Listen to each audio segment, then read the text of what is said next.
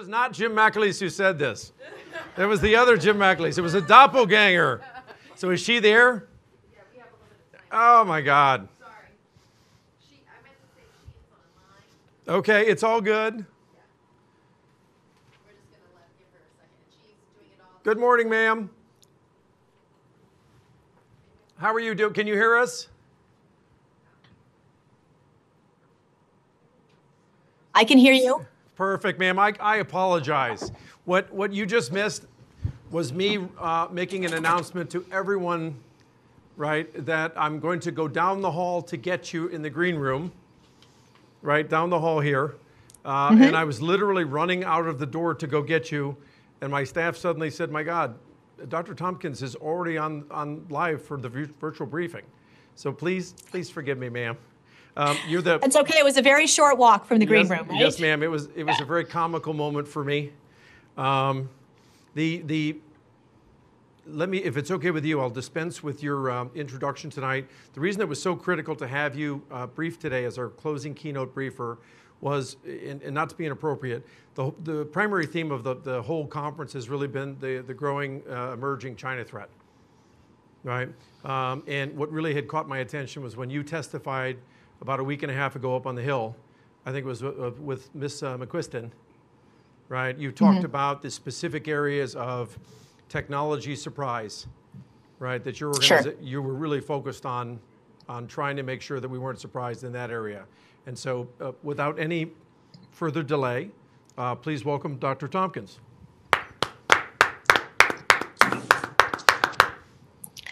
Well, thank you. So, let's start with the premise that DARPA's entire mission is to focus on preventing technological surprise. So, Yes, a lot of you out there um, have known DARPA for many years. We've been around uh, basically for six decades, and we were founded in direct response to one of the greatest surprises that the nation had faced at the time. That was the launch of the Sputnik satellite. And so when DARPA was created, it was with the mission to prevent um, strategic and technological surprise. And what we found is that we're most successful in doing that when we ourselves are the ones creating the surprise. So if um, we can go to the next slide, I'll give you a little sense of how, how DARPA is currently organized. Um, you know, we have about 100 program managers. Um, they serve short terms, you know, typically four to five years, and they come in with the mission of changing the world. Um, they have access to DARPA's $3.5 billion budget, and they're generally working in these four categories that you see on the screen. So, um, first, over on the left, um, Right. defending the homeland. Then in the middle, um, we've got a bunch of, of topic areas um, related to de- deterring and prevailing against high end adversaries. Um, over on the right, effectively prosecuting stabilization efforts. And then down across the bottom, a really huge area for us is foundational research. Um, what we're really tending to do is look out into the future, think about where the surprises might come from, where the technolo- technological opportunities are, and then you know as i said working to create those surprise with new technology programs so what i was going to do today is give you a couple of examples um, of outcomes of programs that we have previously launched so you get a feeling for a little more specific- specificity in terms of Yes, um, what a DARPA program result looks like. And then what I thought I would do is um, talk about some brand new opportunities. So you're going to see, you'll sort of straddle the space. What does it look like maybe at the end or nearing the end of a program? And what does it look like when we're just launching? And those folks who are sort of inspired and excited by this still have an opportunity um, to get in on the ground floor of some of the new topic areas. yes, ma'am. So if we go to the next slide, um, what will, yeah, sorry, uh, go back one. That was just a, um, I wanted to highlight a couple of areas. Um, so you can see highlighted in yellow. You know, we'll we'll talk about things related to 3D city scale operations, um, our artificial next campaign, intel, our, our AI next campaign, so artificial intelligence, and some areas in cyber deterrence, just to give you a sense of of how it looks across different points, um, different parts of our map here. Okay, so we'll go into recent activities. So next slide, and then you can go ahead and jump to the next one after that. Uh, I'm going to start off by talking about our subterranean challenge. Um, and so this relates to that idea of 3D city scale operations. Very three dimensional, we're going straight down. Um, sub T, uh, a subterranean challenge we abbreviated as sub T, is at the moment uh, the world's most challenging robot competition. The goal is to develop innovative technologies um, that can, you know, very rapidly map, navigate, and search completely new underground environments um, during very time-sensitive combat operations or disaster responses. So we have just this competition's been going on for a couple of years now.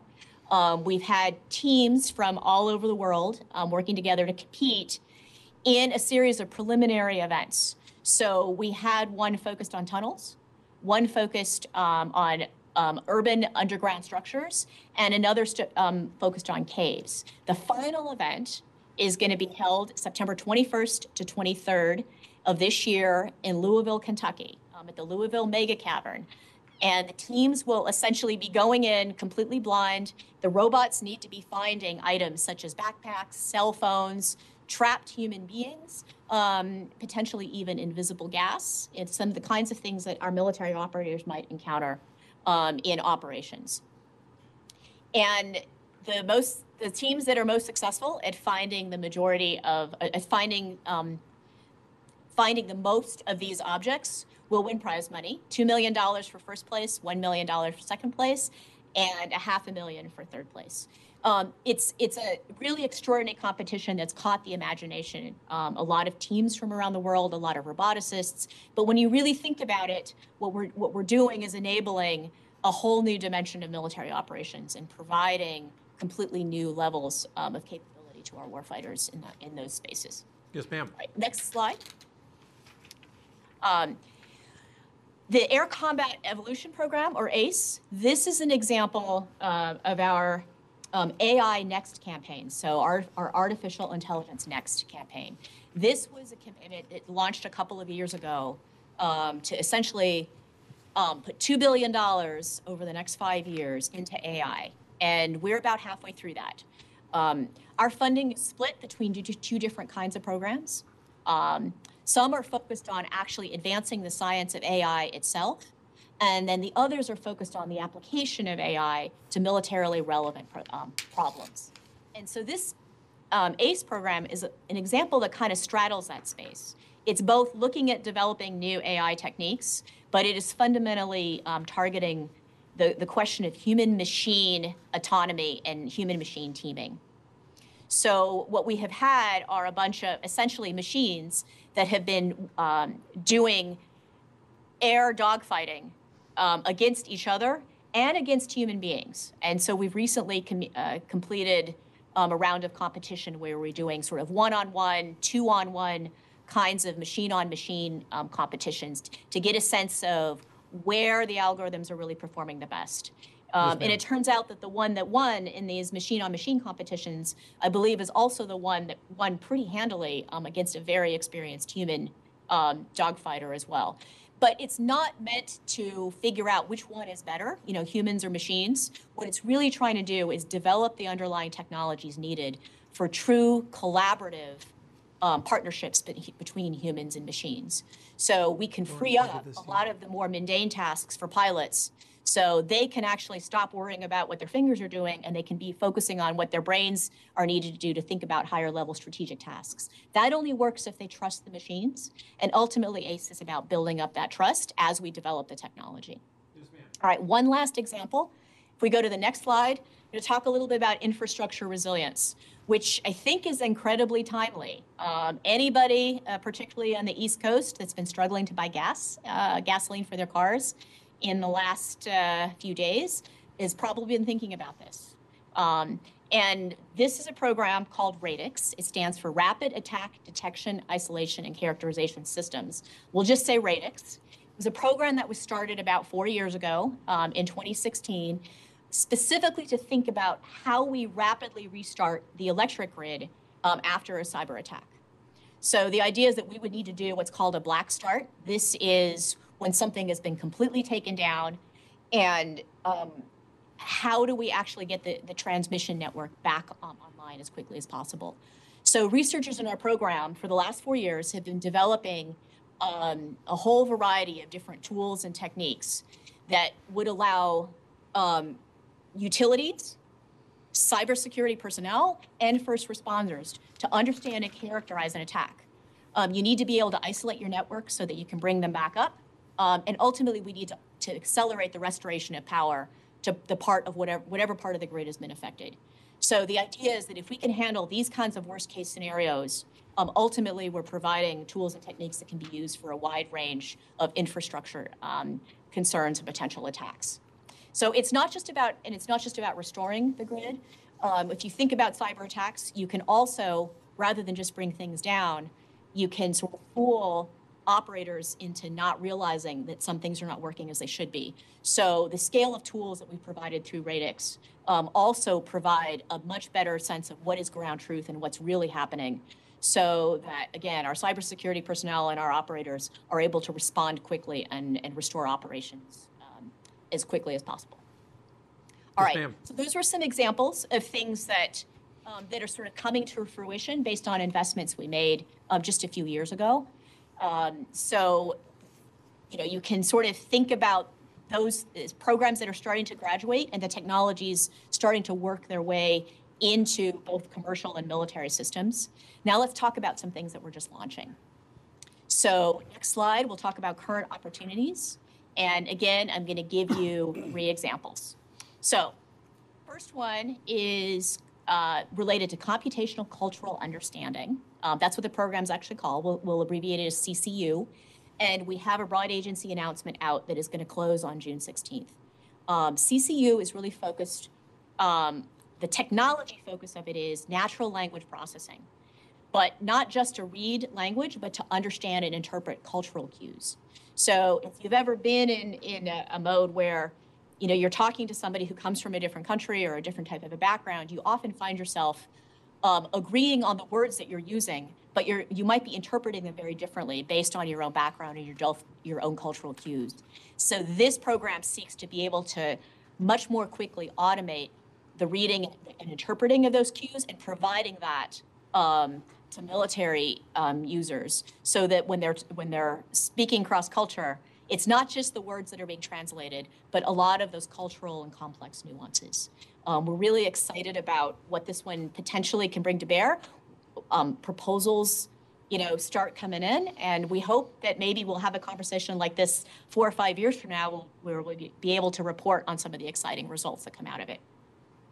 Uh, next example for something completely different, we can talk about microelectronics. So this program is called GRYPHON, stands for Generating RF with Photonic Oscillators for Low Noise. And the idea is to be able to develop um, uh, really flexible, high performance microwave frequency sources um, using a lot of recent technology advances in integrated um, photonics. So, to understand a little bit about why this matters, um, you have to understand that electronic oscillators really lie at the heart of virtually all microelectronic systems. Um, and they generate the clock signals that we use to be able to synchronize um, sensors and communications that operate in the RF domain. You know, and so we all like to think about in a perfect world, an ideal oscillator would be able to provide a perfect signal at a, at a single frequency. The reality is that we just don't get that. Um, and there is a lot of what we call phase noise that impairs um, our ability to have this perfect signal.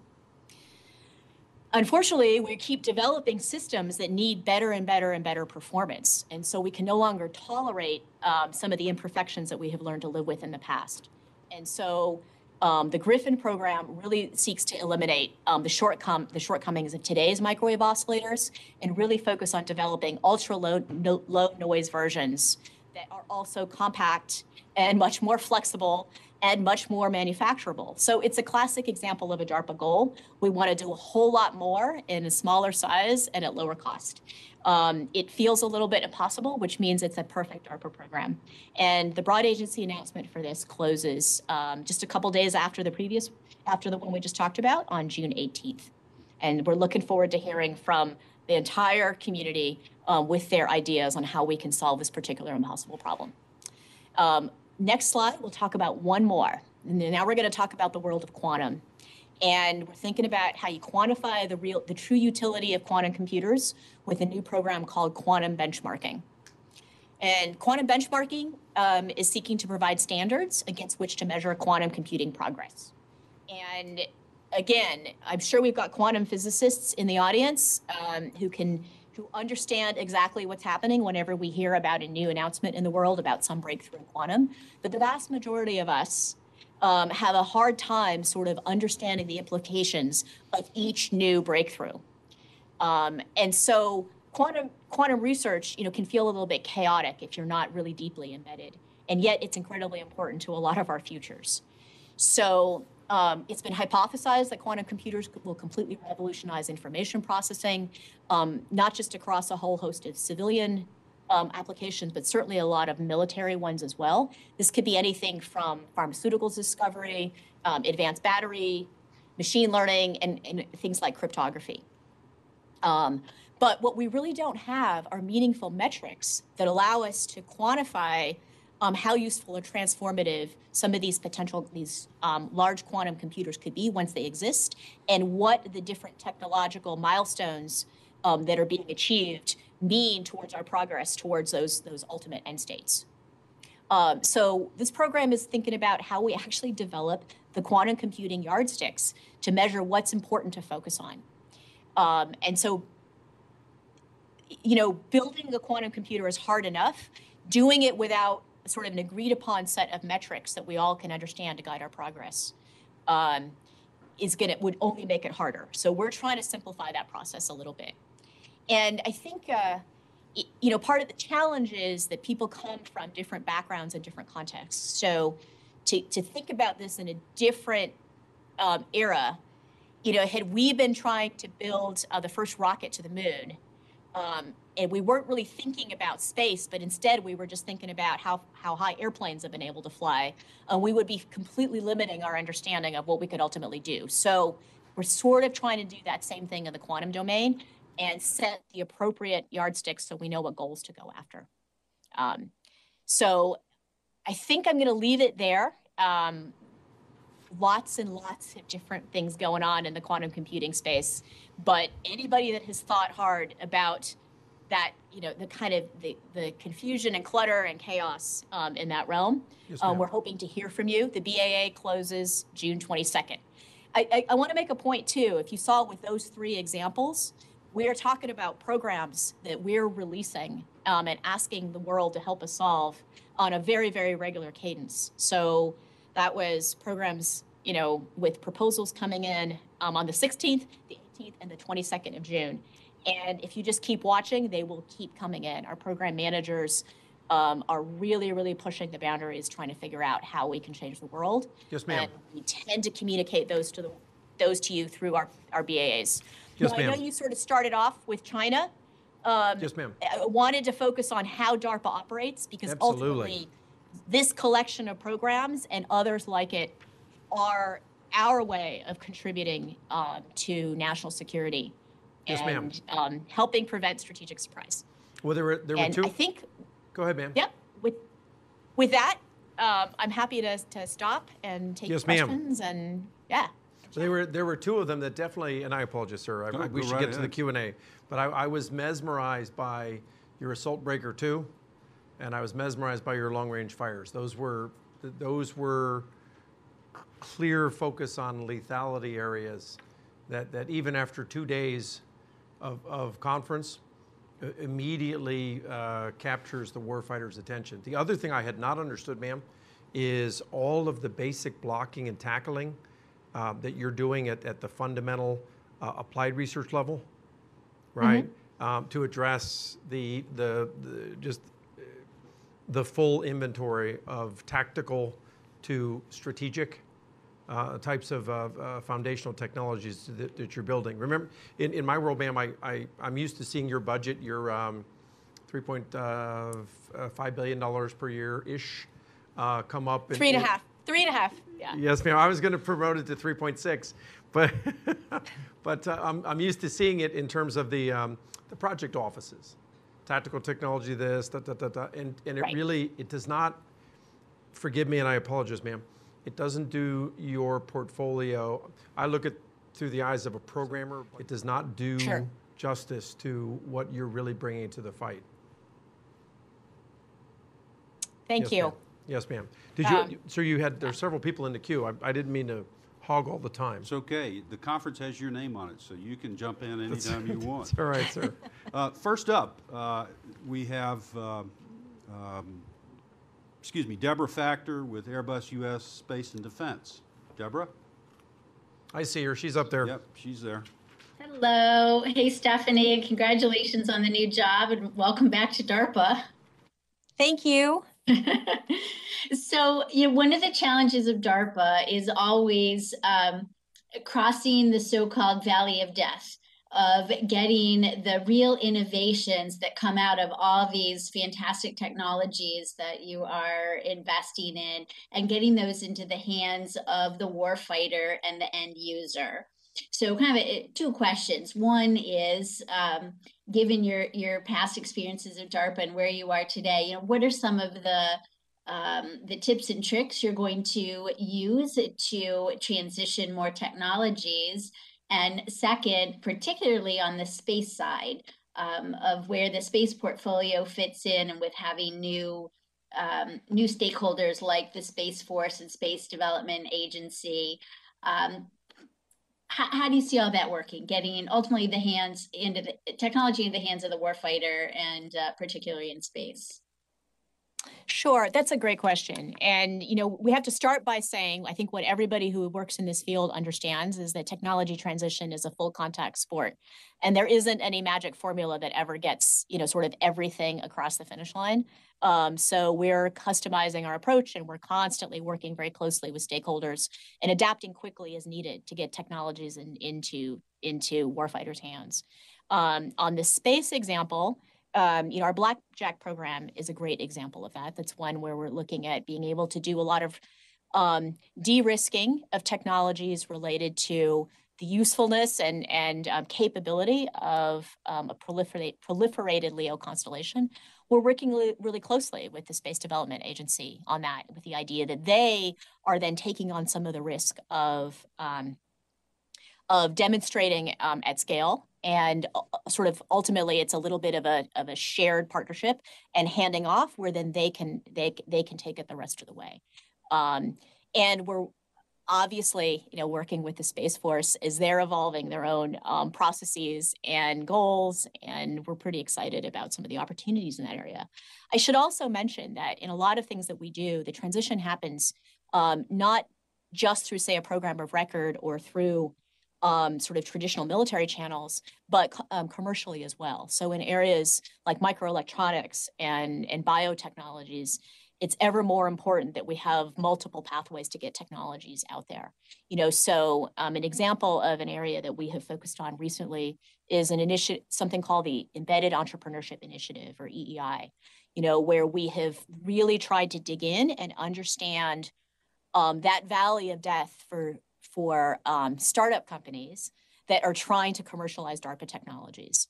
And what are some of the gaps that allow them to get US investment dollars so that they can actually take those technologies forward and bring them back to be able to benefit our warfighters?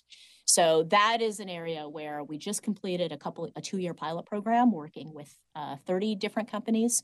Um, it was successful enough in the sense that uh, significant amounts of U.S. Um, investment were brought into these companies. Um, no adversary investment, um, so it's a pretty good win on that side. That we're going to expand that to um, target 150 new um, companies, and so we're, th- we're thinking about transition at all levels um, commercial, military, hybrid, and we recognize that it's a continually evolving space. And we probably will never have a final answer. Um, we'll certainly never have a single answer, um, but it is it is so important um, to to make sure that our technology results aren't just interesting, but they're actually relevant. And I, I thanks thanks for highlighting it because we love to talk about it. Yeah. Thank you. Well done. Thank you, Deborah. Uh, Director Tompkins, if I could just jump in with a quick question. This has been a tough year or 12, 14 month period for cybersecurity. Uh, when you count uh, SolarWinds, what occurred there, and now followed by the ransomware attack on the pipeline. Yes. The sense that I get, and this is certainly not scientific, and I couldn't prove it, but I think there's a, we, in the public domain, there is a sense that we are overly vulnerable and don't have an effective defense on the cyber side. Uh, first of all, would you care, would you agree with that characterization? And secondly, what what are we not doing that we need to be doing in terms of investment so that we are better prepared for uh, defending against these kinds of things? So it's a really good question. It's a tough one to answer because you, as you can imagine, um, there is a whole range of things that we are doing, um, things that we are thinking about doing, things that um, different parts of the government are getting ready to do, and not all of those can be talked about. And when you only give part of an answer, it's it, it's sort of hard to understand the big picture. Um, so I'm going to just speak to the DARPA element and DARPA cyberspace, um, working both in offensive and def- defensive operations, looks to try to develop technological solutions that are available um, to operations, um, to our um, national leadership in terms of what choices they have available across the full range of cyber deterrence and cyber operations. So that that could inc- include things like um, attribution and ultimately knowing where an attack might have come from um, and being able to you know distinguish the reality from what might be the noise out in the public domain of of whether or not this is something that is um, sort of a nation state level attack whether it's sort of a nuisance level attack and ultimately how do we um, try to deter these and accept the fact that in some cases things get through the cracks how do we then respond as quickly as possible? And so um, we have a pretty extraordinary and exciting portfolio of different technologies. Um, ultimately we, we're trying to create a very complete, thorough, and complex uh, set of tools that are available to all of the, the people um, focused on the national security side of um, being able to respond. And, and you're right, it is, it's been a tough year. Um, what I would offer is that there are a lot of pretty exciting developments going on behind the scenes, and we are a part of um, a much more complex national problem. But um, we're we're excited by what's going on that, that we are contributing to this fight. Thank you, ma'am, for that. Uh, Aaron Mehta. Hello, my name is Kristen. I'm asking my question for on behalf of Aaron. Um, I'm also from Defense News. Um, so, ma'am, um, the Pentagon's obviously moving towards this idea of joint all domain command and control, connecting the best sensor, passing data between the best sensor and the best shooter. Um, what do you expect to be sort of the core technology that will enable joint warfighting, and, and how does DARPA fit into that?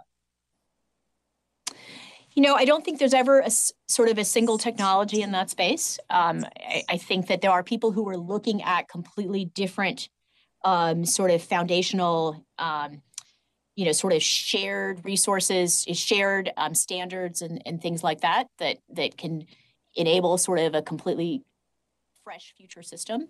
Um, where DARPA has been concentrating is being able to connect existing systems with new systems, regardless of what kinds of standards they're ultimately using. Um, you know, and we have a program, for example, called Stitches. Please don't ask me to spell out the acronym because I don't have that at the top of my head. You know, but Stitches essentially is able to really quickly establish um, through software connectivity between different kinds of systems that don't talk to, to each other. Um, and so the idea is that we can enable very, very rapid connect- connectivity across a whole disparate set of different types of devices and different types of systems, whether they are sensors, communication systems, or what have you. Um, and that allows us to be able to, to sort of create the foundation for very rapid um, flexibility and, the- and the type of connected um, system that you were just talking about. Um, yeah, totally agree that it's an exciting need, and this is something that gets us there but at the same time, keep in mind that there are others that are thinking about complete future standards that might allow even greater levels of interoperability. Very good. Thank you. Uh, And, and she's going to laugh at me for even saying this, ma'am. The, and you're going to, and please smack me if I'm being i- impertinent. Are, have you, um, are, are you uh, kind of scheduling? Obviously, you're getting to know the new leadership in the department, obviously. Um, but are you scheduling uh, uh, visits out to some of the COCOMs? Um, we're not scheduling anything yet because travel obviously is an interesting thing to, to manage. I, Yeah, I- I- I'm actually, sorry. yeah, yeah. But we're we're talking actively, and we actually have very regular engagements, um, sort of phone, virtual, whatever the sort of the, the level of virtual connectivity allows to, to various co- COCOMs. um, those are pretty active conversations. And Yes, ma'am. um, yeah, absolutely. No, I, I can I can only im- imagine what Admiral Aquilino's uh, priority list is starting to look like out there. Yes, ma'am. Is there is there um, yes, is there is there anything else? Just in, were there any more questions, sir? No, that's it. In, in closing, ma'am, one of the things we were really trying to do today was to um, kind of close each of the briefings with a kind of a, a snapshot.